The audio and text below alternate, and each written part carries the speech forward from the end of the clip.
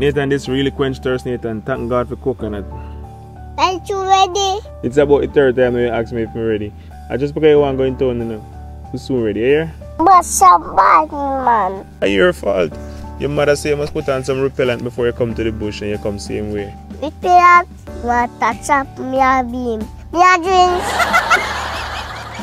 No, you're not drinks, Nathan. But remember, if you slap him, him brother them go take your hand. Papi Daniel, be a brother too. You have Daniel too.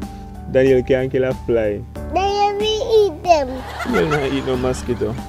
And anyway, by the next 15 minutes time ready, me just wait for the guy to come back with his something. I will make me drive the car. You carry one gas, you go buy gas put in there. We go chop on that theater for your peacock. Hmm, that don't sound bad. You go full that the car out of pig money. Big money, hundred dollar want for you. Hundred dollar. Hundred dollar can full your belly? Millions. That's right, millions. You eat more than ten thousand dollars a week. You could money. Me a go take Kanja now. Nathan, for you to drive you need a license. Do you have a license? No, me a picture. Picture. So when the police stop you, what you going to do? Me a to say, Merry Christmas. Merry Christmas? You're still going to jail. You be me car. That's why I'm not going to give you. See? You sell me out. A joke, man. A rain that a come.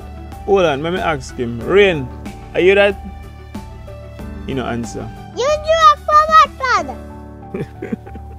Alright, come on, let's go. Father. Hold me on, baby. Me, me a no baby, daddy. Me a Yatan.